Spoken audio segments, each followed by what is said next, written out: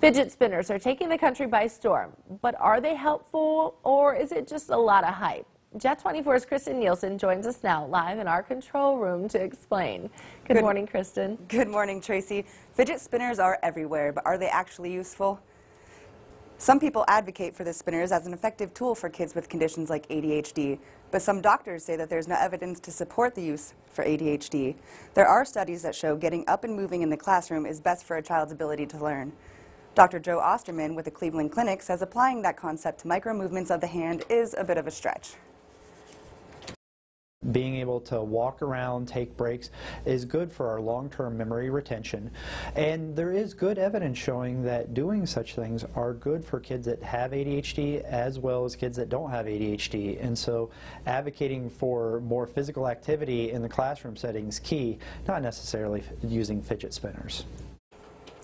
Fidget spinners in the classroom may actually be more of a distraction, according to Dr. Osterman, especially for kids with ADHD who struggle to stay focused in environments with multiple distractions. Tracy? And Kristen, I know you have kids too, and we are no strangers to these things, right? No, of course not. it's funny though, it just seems like kind of like the new age yo-yo, or you know, whoever came up with this idea, I kind of envy the money that they're bringing in with it. Oh them. yeah, another fad, and I'm sure it'll fade soon. Well, thank you, Kristen. Thank you. This brings us to our poll question for today. We want to hear from you. Are fidget spinners a help or are they just a hype?